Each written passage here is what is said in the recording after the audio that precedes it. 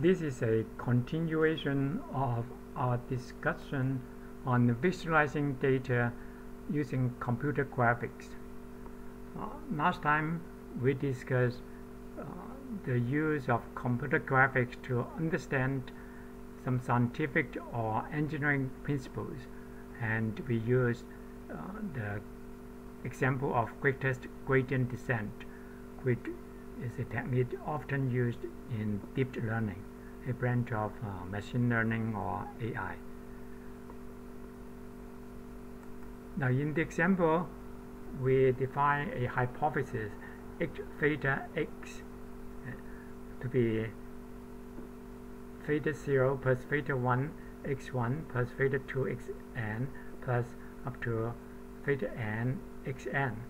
So we have n parameters uh, x1, x2 to xn. So this can be uh, summed over i equals 0 to n theta i xi. We define x sub 0 to be 1. So theta equals theta 0, theta 1, theta n. So we have n plus 1 theta i's, but only uh, n parameters. So the, the x sub 0 is artificial, we set to 1. Other x xi's are actual um, features.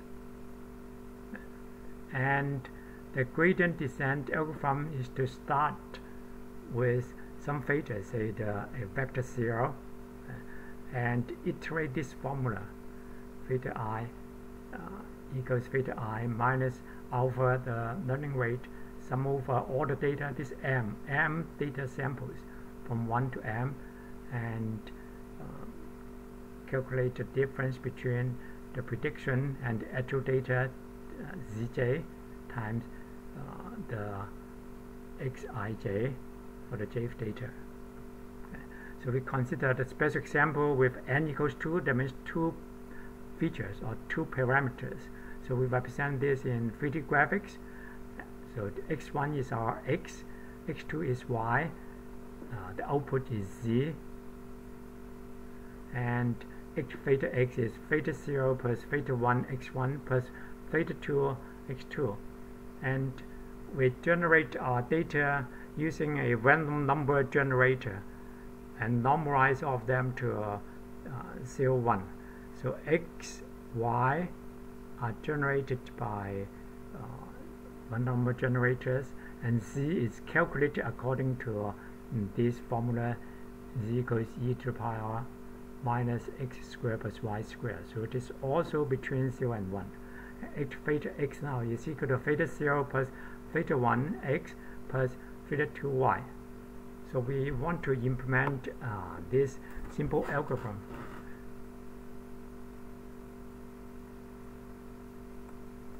So our program consists of two parts.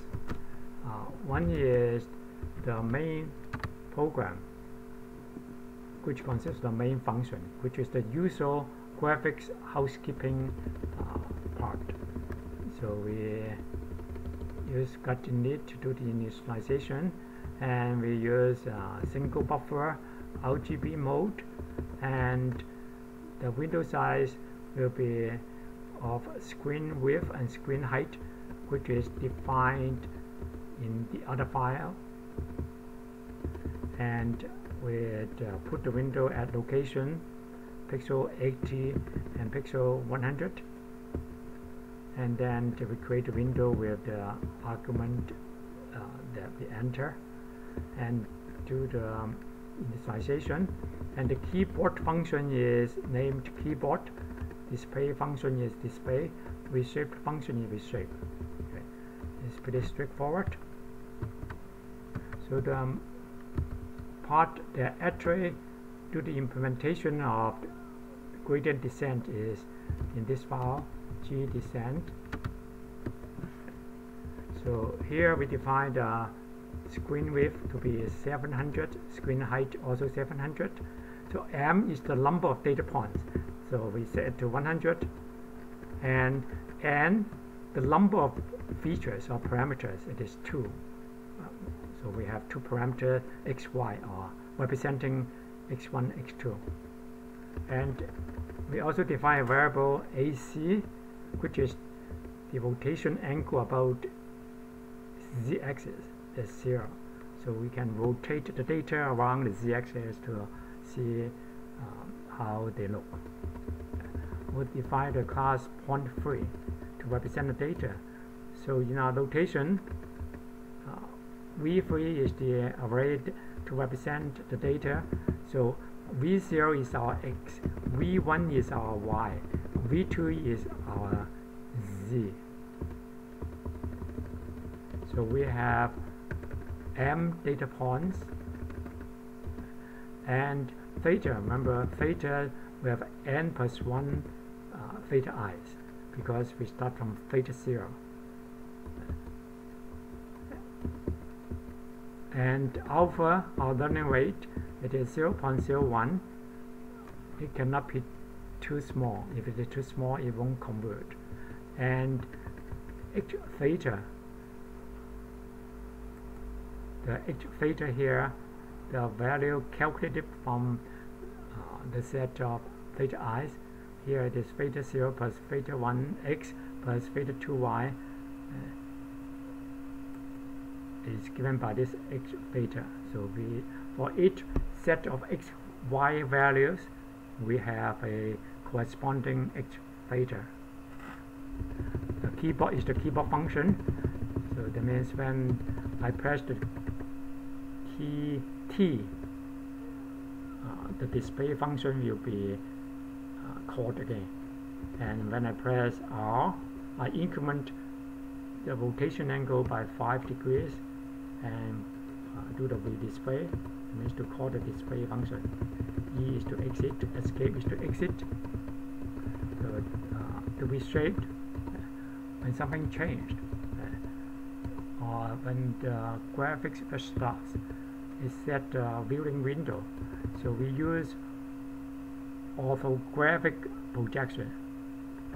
So in the projection, uh, the left is negative 1, the right is 1, uh, the bottom is negative 1, the top is 1, near is 1, far is 20. So this defines the viewing volume or you can, if you want, uh, you can try, you can use uh, perspective projection using uh, GL Frustum to define it, something like I use parameters like this. Yeah. And we set the matrix mode to be uh, model view and the look at defines the viewing parameters. So we set our camera at the point 2 to 2 looking at the position 0, 0, 0, 0. That means basically we are looking along a diagonal of a unit cube And uh, up direction is Z axis. Z is the up direction. And uh, then we rotate uh, around the Z axis by the angle AC, which is 0 if we don't press the key R. So we do the initialization. We set the background to be white uh, because RGB are set to 1. And then the joint color to be black. And we start with identity. And we uh, generate some random data and normalize them to 1, uh, to be a value between 0 and 1.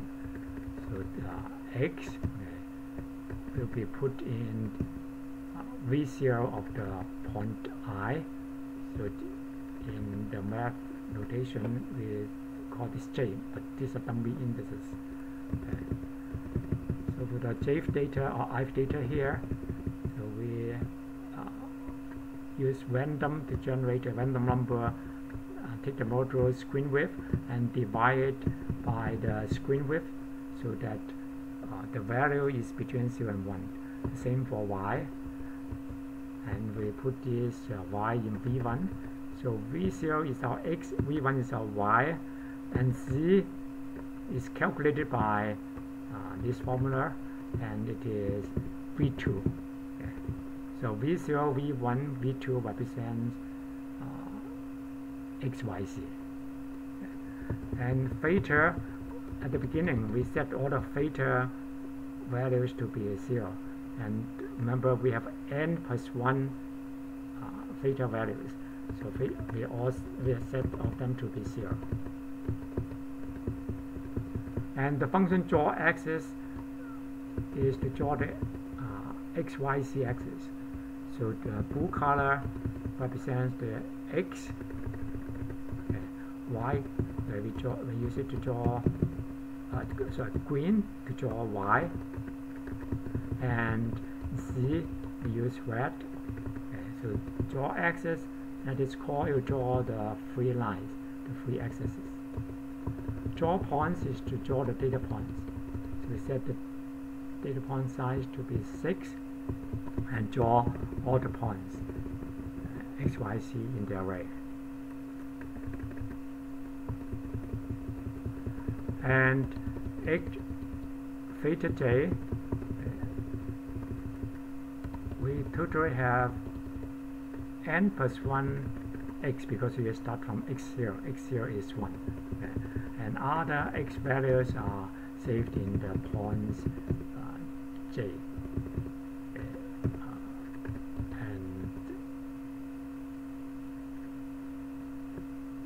we have the n parameter. Okay, so there's uh, for here we start from 1 x1 and v0 corresponds to our x1 v2 corresponds to our uh, x3 uh, v1 corresponds to x2 and v v3 uh, there's uh, v There's no v, v3 here. v3 is our c that's calculated. That's our xt. xt is calculated by this formula corresponding to uh, this formula. So return xt and here's uh, display. So we have a parameter first. We set 2. The first time we uh, do this, this is 2 so we create a screen and we could uh, set the gluLookAt and rotate uh, about z-axis AC is 0 at the beginning. And then we draw the axis. Okay, and set the color to be red and draw the points. If we did the first time then we are done. We don't want to go further. We set the first to be false and return okay. so now let's see how the data looks at the very beginning. So we, this is our make file. so the, we have the program gdescent, the output, and also the draw main. So link this together.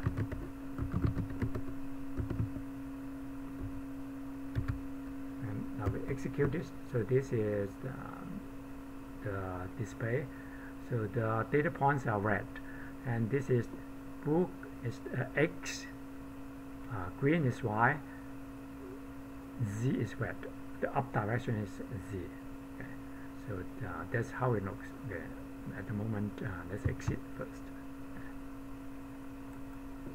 Now if I press the key T then the display will be called again. So it is not the first time. So that means it will continue. As first is false now.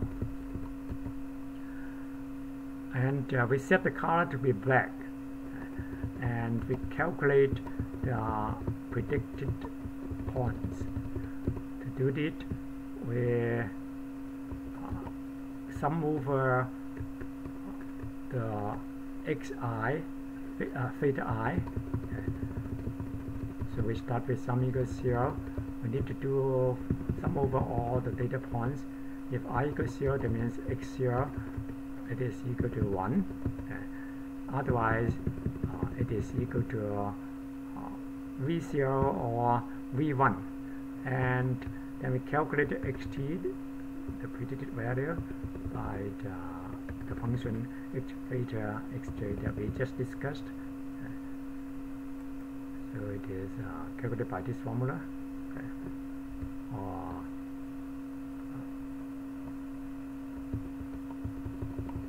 uh, this formula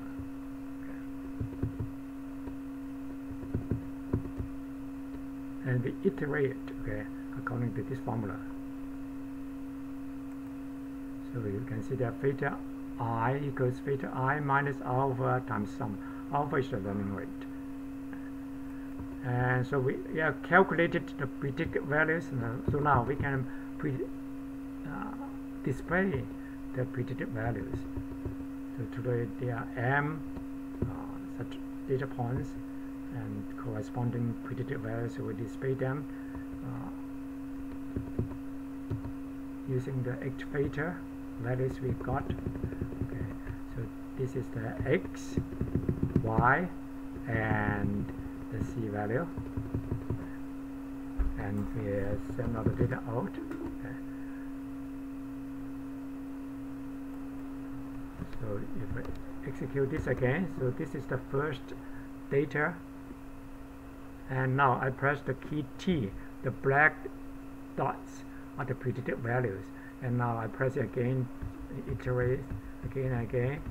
So the theta values are updated until it converges. Okay, it doesn't move much. Okay. and so the predicted values are pretty close to the target values, the actual data. So now if we have certain x, y values like uh, x and y is at this position, then we can predict what the uh, z value using the h theta, using the set of theta values that we obtain, the theta that we obtain by iteration.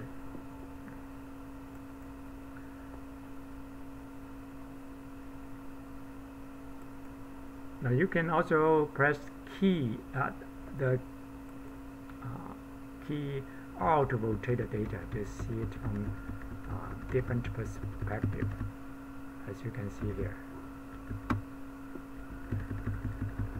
So you can try this out, use uh, more data values and uh, play with the data and see how it works. Thank you. Bye-bye.